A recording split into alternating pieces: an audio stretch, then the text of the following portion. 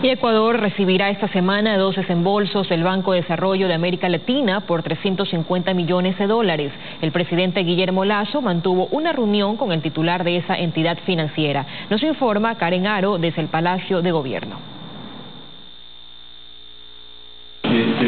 Se trata de su primera visita oficial luego de ser nombrado presidente ejecutivo del Banco de Desarrollo de América Latina CAF. Sergio Díaz Granado se reunió este jueves con el presidente Guillermo Lazo en el Palacio de Carondelet.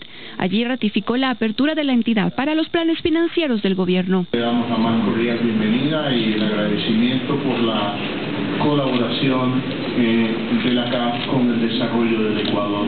Para conocer la, la visión del gobierno la orientación, el avance en estos 100 días y de esa manera identificar las áreas de cooperación futura entre el Banco de América Latina, CAF, y el gobierno de Ecuador. De la reunión participó el ministro de Finanzas, Simón Cueva. Anunció que la CAF aprobó para el Ecuador un préstamo por 200 millones de dólares que será usado en el plan contra la desnutrición infantil. Una iniciativa clave para el gobierno y fundamental para ir mejorando la situación de las familias más pobres del Ecuador.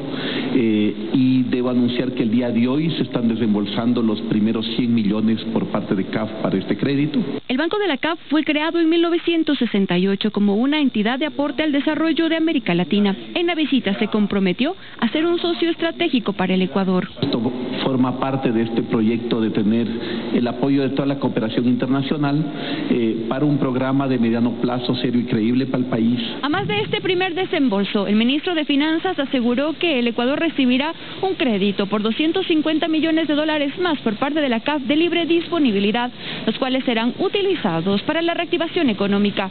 Karen Aro, TC Televisión.